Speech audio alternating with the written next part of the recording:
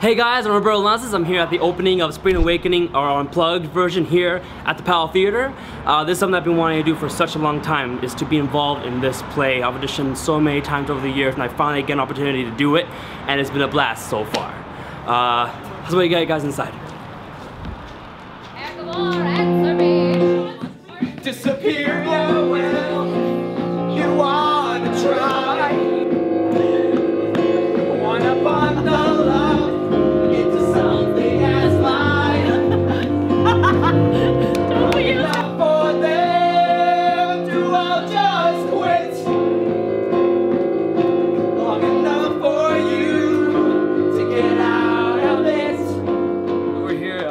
backstage in the change room for Spring Awakening that's performed here at the PAL Theater in Vancouver. Um, so this is pretty much a little chaotic right now. We just moved in, so we're gonna kind of make our spots uh, prominent, I guess, between each other. Uh, so this is pretty much the men's side, uh, and then uh, there's a little curtain here, red and blue, uh, for the ladies' side, so they have their kind of they have their privacy, you know, when they're changing. I feel like uh, it was one of those things where in training uh, at the school, it kind of prepared us all to um, leave the faculties, uh, leave the people uh, that have trained us for two years, and you know, kind of be able to approach any of the mediums that we have out there in Vancouver. Um, it's not just film and TV, right? Because obviously there's theater here. Uh, there's a lot of uh, um, voiceover work too. Uh, so it's, it's been pretty great. Um, so I think New Image really did prepare us to audition for any of the uh, uh, outlets that we have here at Vancouver. Like once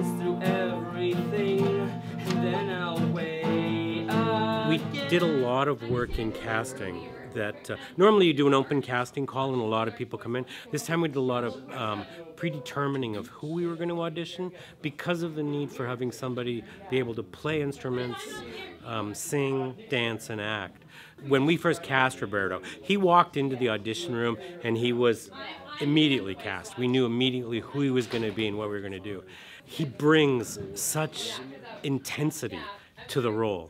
And I remember the first conversation I had with him about his character. He was so thoughtful in what he was bringing to the role, and it was so easy to work with him and touch beyond the shell of understanding the character and touching the person that the character was going to be. All the more so, I am afraid, says reading your essay. What you wrote about the female? Anna is an absolute joy to work with. Uh, I've, I, it's really cool to see someone with a lot of discipline and a lot of uh, hard work behind everything. So don't you hide, Roberto! Don't you hide from your pride!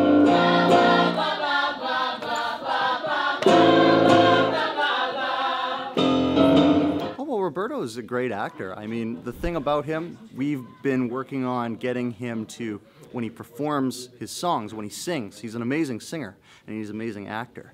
But we, the, the thing that I've seen him grow the most is that he combines those two things. When he's singing, for example, he's performing the lyrics as though they're dialogue in the show, which is really what we wanted to get from the show. He's got the, the dancing, he's got the singing, he's got the acting. I mean, he's triple threat.